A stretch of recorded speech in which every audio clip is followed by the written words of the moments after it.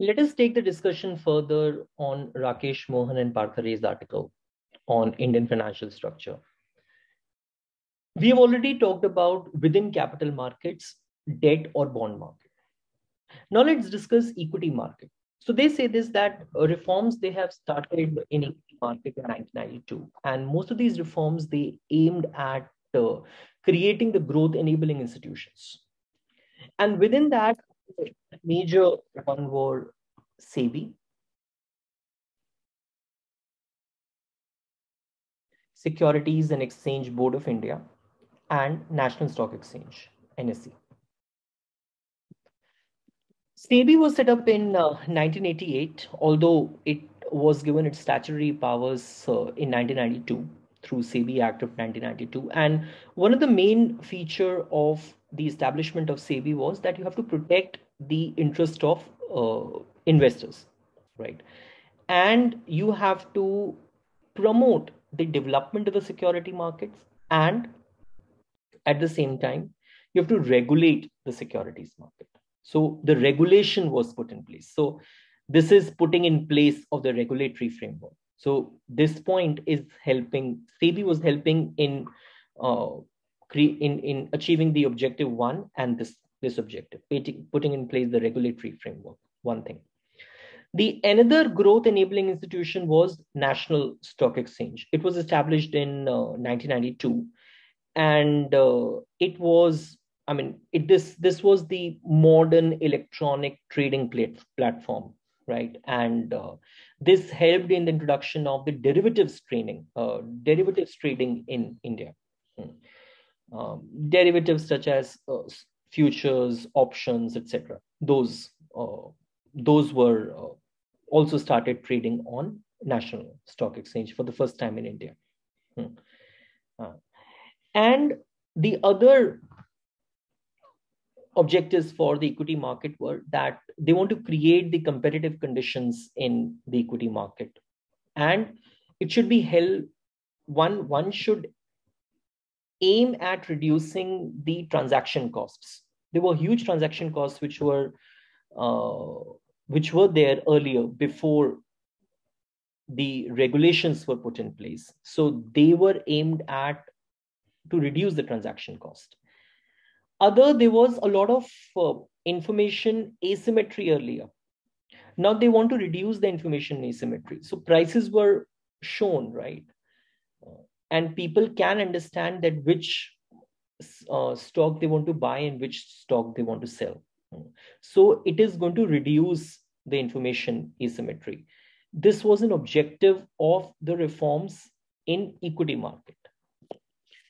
Well, there has been also say that there, is a lot of improvement in uh, in equity market, uh, and you can see it from the point of view of the size of the market. It has gone up liquidity has gone up.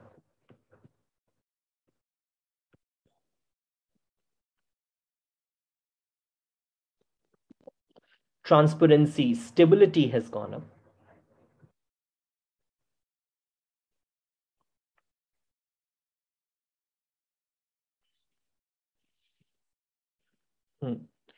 Right. So, I mean, stability is no stock exchange can always be always stable. They, there has to be some volatility definitely. Uh, but it should not they, there should not be swings which are very high and very low. So that is what we call as as, as stability. But there is some volatility definitely. But still uh, uh, india's market capitalization to gdp ratio. So this you can give as an evidence that uh, this uh, this is standing at nearly 70% india's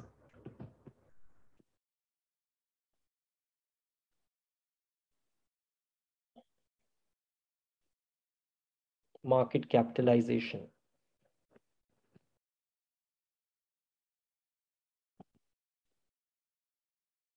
To GDP ratio, it is standing at uh, 70%. And this is in 2016. And the other thing is that at the end of 2016, or sorry, at the end of 2015, authors say,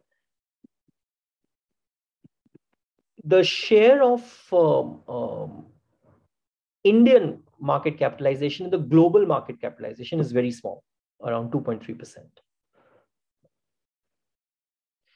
Uh, so these were the developments in equity. The another part of the capital market, apart from the equity market, is the mutual funds. Now, people can invest in mutual funds or they can also invest uh, separately in just the profit of one company. That is what share is. In mutual funds, there are people who have created a portfolio and then you invest in that portfolio. So you diversify your risk.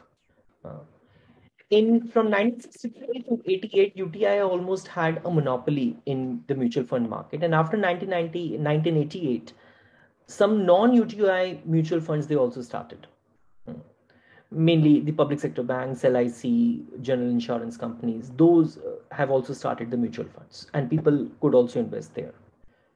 After 1993, private sector started coming in the mutual funds. And this was the turning point when uh, Mutual Fund Regulation Act was passed in 1996. Uh, it gave more operational freedom to the mutual funds player if you look at the growth and if you look at uh, uh, the current scenario as of March 2016, there were 44 asset management companies, basically mutual fund companies. And in terms of mutual funds, the share of the private sector mutual funds is more than the share of the public sector mutual fund. People can invest in mutual funds which are more equity oriented, or they can invest in mutual funds which are more debt oriented so it is not that the mutual funds will be only the collection of uh, in in your mutual funds portfolio you will have only the collection of the equities. You can have the collection plus debt or more debt or only debt or whatsoever. So recently what uh, authors say that they have seen that the preference is more towards the debt oriented mutual funds uh, i mean vis-a-vis uh, equity oriented mutual funds. And they say that the share of the retail investors, share of the retail investors in uh, in assets under management is around 48.5%, while the 51.5% is coming from the institutional investors, right? So they say this that uh, the assets under management in the mutual funds industry, if you look at some some non-metro towns and cities, then also you see this is a testimony to the fact that yes, mutual fund industry can also grow even further. So there is a huge scope for this. See, India does not have a universal social security system. In many developing countries, also we didn't have this. In India, also we don't have. So mainly the pension system or the social security system is mainly for the organized sector of the labor force both public and private in public sector you have uh, uh, the social security which is coming in three layers provident fund gratuity and pension scheme so gratuity you will be getting uh, at the time of the retirement and then you will be getting the pension scheme also. In in private sector you mainly have the provident fund there were reforms as in uh, there was the new pension scheme which was uh, introduced in 2004 and uh, as of march 2016 as of march 2016 there were 8.7 million subscribers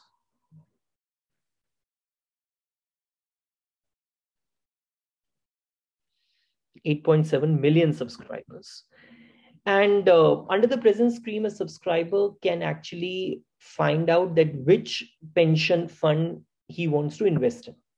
Uh, uh, he can select uh, any one of the eight pension funds. So there are eight pension funds out of which he can select one.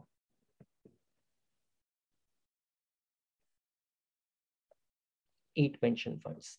Uh, and if you look at uh, the amount of the old age population in India, that is also, I mean, since our population is already huge, old age population is also huge. There are these old age people, these old people, they are investing in pension funds. So these pension funds resources would also be available for investment in the infrastructure project. So there is a huge scope for the pension funds also. So these are the four segments of the capital market. Hmm. These are the four segments of the capital market of pension funds, mutual funds, equity market, and the bond and the debt market. So we have seen the capital market and we have also seen the insurance sector. Now let us talk about the last two segments of the financial markets. One is the external account and the another one is non-banking financial corporations. So as far as external account is concerned, uh, then from 1992 onwards, there had been the greater flexibility in uh, which has been given to the foreign players also. Procedures were simplified, new instruments are available. And uh, as far as your uh, infrastructure is concerned, that is also developed to undertake these financial transactions. Uh, and uh, the turnover in the forex market that has also experienced a lot of a lot of increase. Then what they say is that uh, since 1992 the foreign portfolio investors in general and foreign institutional investors in particular they can invest in both the equity market as well as in the debt debt instruments. Uh, so foreign portfolio investors would include such as pension funds, mutual funds, asset and companies, etc. So, and not only that, the Indian corporates were also allowed to access the international capital market. For example, through American depository receipts, global depository receipts, uh, foreign currency convertible bonds, etc. All of these. As far as FDI is concerned, uh, mostly FDI is allowed in most of the sector except uh, uh, print media and real estate. Hmm. Uh, and then, interestingly, the non-banking financial uh, finance companies. They're different from the banking sector. Right. One thing is that they cannot accept demand deposits. Hmm. Right. as the banks can and uh, they also do not form form the part of the payment and the settlement system right? So means that they cannot issue checks which are drawn on itself. And the deposit insurance facility is also not available in the nbfcs to depositors unlike that so and there are different kinds of nbfcs for example you have the housing finance company you have an equity leasing company so there are not just one kind of uh, the non-banking financial corporation. And uh, there has been an increase in the proportion of the bank deposits. So they give you uh, some data, which is from 1985 to 86, this proportion was 0.8%. While in, in just six years and just few years after liberalization, it went to 9.5%. So what has been said is that uh, this is mainly due to the higher interest rates which uh, are given on, on, on, the, on these deposits. So high interest rates. This increase is particularly because of high interest rates, high rate of interest offered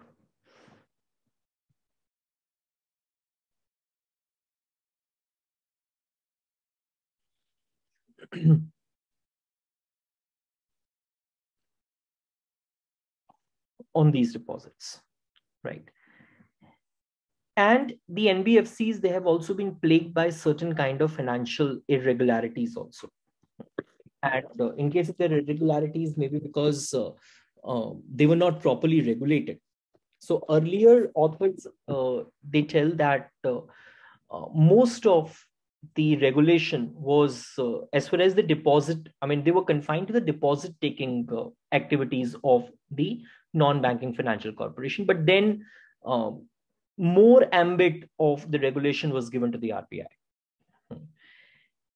and uh, but the problem also comes in case of the nbfcs is that there are multiplicity of regulators. How? They give an example. They said this that uh, chit funds are also NBFCs. They are governed by the states. Uh, mutual benefit companies are also NBFCs. They are governed by Ministry of Corporate Affairs. Uh, uh, housing finance companies they are governed by national housing bank so because of multiplicity of regulators also it becomes difficult for them to function that is also true and then um, but there has been some cleaning up in the nbfc sector also. Uh, since 1998 uh, um, all and presently also most of the nbcs who are taking up deposit they are also subject to the prudential norms. You remember the prudential norms which we talked about in the beginning of the class for example in case of uh, the banking sector uh, your capital adequacy norms or or uh, how do you have to show up your balance sheet right or the reporting requirements. So those are prudential regulations. So although there are many kinds of nbfcs which are existing and many of them are not coming under the ambit of the rbi regulations also. Some of them are with the state governments and uh, there has been some amount of irregularity sometimes although the amount of the irregularity has gone down but some kind of uh, irregularity has also been seen. Uh, so some kind of scandals also have been seen at the level of uh, few nbfcs so one of them is the sharda uh, scam, which Sharda chit fund scam, I guess it, uh, it, it, it came about in 2013. So these uh, are the few points about the NBFCs. So you have done the entire thing. You've done the financials within the financial sector. You talked about banking, how banking has developed over the time. You talked about how the capital market has developed bond market, equity market, pensions, life insurance, NBFCs, and external accounts. So you will have to give this entire picture. Uh, so in case if the question comes just on, uh, I mean, what is your take on the reforms which were taken up in the financial sector? So you will have to tell everything in that question. So you'll have to tell that what are the different parts of the Indian uh, financial sector, tell everything about it. Or they might also ask you about one particular point. So, for example, they might ask you about the reforms taken up in the in the bond, the debt market, or reforms taken up in the insurance sector, how insurance sector has progressed. So those things. Try to understand what kind of question they can ask and only answer that in uh, in the paper and read the reading carefully make these notes and try to add on your own things in uh, in the notes right thank you beta i hope you liked it thank you